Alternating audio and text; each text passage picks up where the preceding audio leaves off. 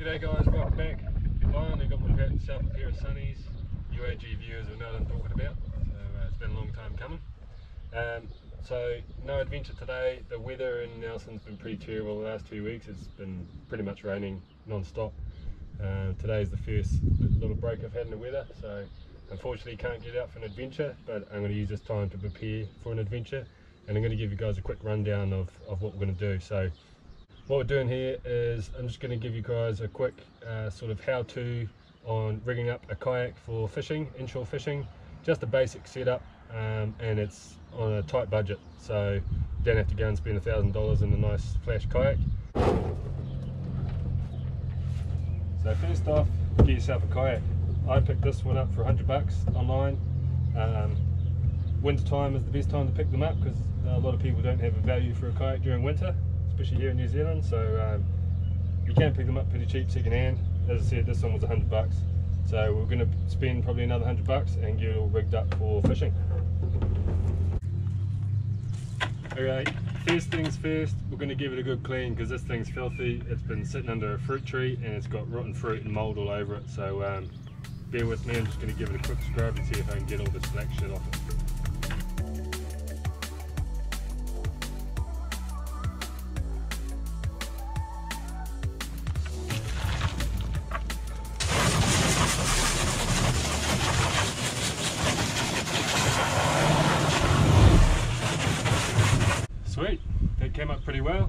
Um, probably give it a water blast after this, but um, we've got the majority of the off it anyway, so I've got a good base to start with.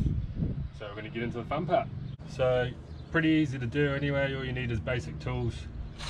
Drill, drill bits, a knife and a screwdriver. Okay, first things first, um, I noticed when I was picking this up, it's pretty hard to carry by yourself. This string um, is pretty sore on the old fingers. So to counter that, we're just going to slide over some um, old fuel line from the old boat. We're just going to slide it over these and it'll be a bit more comfortable on the fingers. Now you can use garden hose, probably PVC pipe, pretty much anything for this, whatever you got lying around. As I said, this is a budget build and I'm trying not to spend too much money um, and I think this will be pretty effective. Good thing about this fuel hose is it's quite rigid so once it's on there it's going to be pretty hard for that to come off. Um, so I do that on both sides and then I can carry it by myself, drag it down the beach. So all I've done is uh, made a slit down the middle and you're just popping it over this rope. Sweet. The most important thing in a kayak is your seat and they're about 50 bucks. I haven't actually gone and bought one for this, I've just pinched it off my old kayak, but I will buy another one for this. Look online, but I'm pretty sure they're around 50, 60 bucks, so pretty cheap and very important. To rig this up, you're to need some eyelets. I just went down to Burnsco, bought a pack of these, 10 bucks. You get, I don't know, 10 or so. 10 pack, 10 bucks, so dollar each, pretty cheap. Um, luckily, it's already got eyelets on the back to clip on, um, but you just want to work out where your next eyelet's going to be and then make a mark. You want it to be quite tight, quite firm, and you can always adjust it afterwards.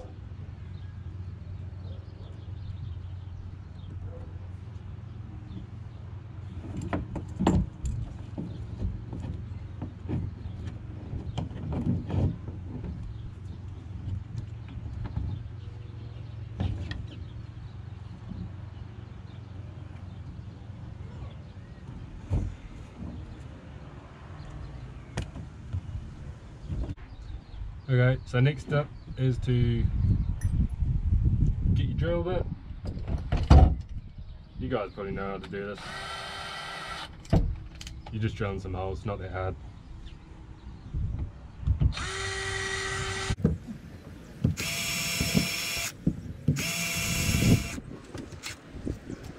Okay, once that's done, secure them in with the drill. You don't want to go too tight and strip your thread. So drill most of the way and finish it off by hand with a screwdriver. Once you've done that, give it a test. Oh yeah, she's comfy. I'm happy with that. Right, uh, next thing we're going to do is I'm not sure. What's the next thing we're going to do? Next thing you want to do is work out where you want your rod holders. Um, you kind of want to do your seat first so you know where the rod holders are going to sit in relation. You want to be able to get to them, grab them wherever they are. okay, next step is uh, go and buy some of these. These are off the shelf from Burnsco. You can get them online, marine deals anywhere. Um, and these are called Railblaza ports. You guys might be familiar with these, um, but pretty much all it is is a an attachable rod holder that you can move anywhere. You can get all sorts of components um, that fit the StarPort. So you just screw these in and you clip these in or clip them off, move them around, switch kayaks, whatever. So for this, all I had to do was go and buy these StarPorts because I already had these off my old kayak and my old boat. Um, and I can just swap them around as I need them. But let's say you've got to go and buy it all. You can pick these up for about 30 bucks-ish, I think, for a kit. So two of those equals $60. And they're well worth it. I use them on my boat, kayak, everything. They're the best rod holders you can get. So all you got to do is screw these in. Now, in this situation, I'm going to use a hole saw and, and, cut out a hole for this so it can sit in there. If this was a thousand dollar kayak, I probably wouldn't be doing that. I'd be using this spacer. Uh, means you don't have to drill out any holes, you just screw it in. But um, if I cut out the hole, it's got a bit more to hold it in, bit stronger. And to be honest, this is only a hundred dollar kayak, so I'm not really too fussed if you're not confident doing that you can use the spacer that it comes with and you just screw it in like, like so so now what I want to do is sit in the seat and figure out where I want these I do want them behind me so because I don't want anything obstructing the front of the kayak when I'm fishing paddling whatever so all of this stuff I want behind the seat so I'm just going to sit in and figure out where I want these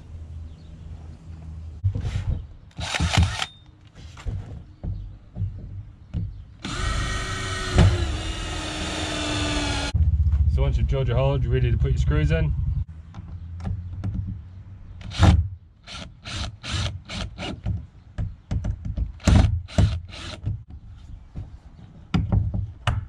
Boom.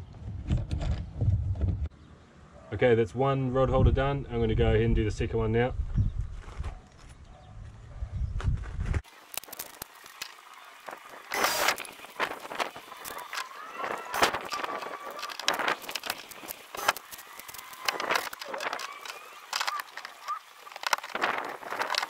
Sweet, that's the rod holders done.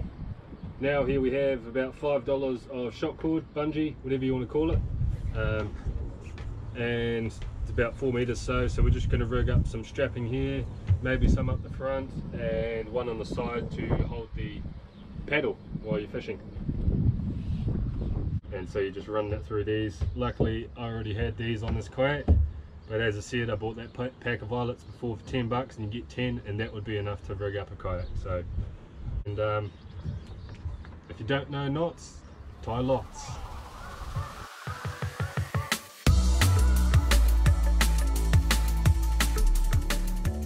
Okay, that's the front rigging done.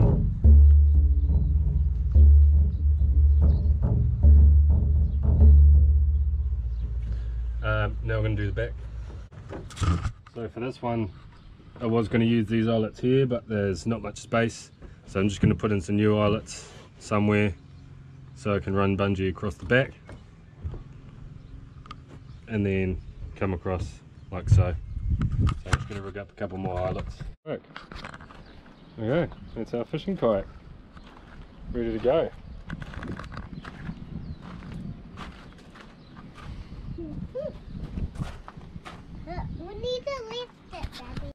So all of that costs less than $250 depending on what you needed to buy. Easily 250 you probably get away with 200 and that's including buying the kayak. Um, so pretty good. It works well. Obviously it has its limitations um, and yeah, you get what you pay for. So keep that in mind. Um, I'm not saying this is better than a fishing kayak. This is a budget kayak for inshore fishing that you can use if you want to. Um, so anyway, yeah, hope you like this video. It's a bit different to the usuals. No adventure yet. We'll use this kayak next time I head out and um, just show you what it can do, I guess. So fingers crossed for the weather. Play the waiting game and um, do some jobs around the house, I guess. But, so anyway, that's all for today. Remember, if you are heading out in your kayak, wear a life jacket. Take two forms of communication, waterproof communication.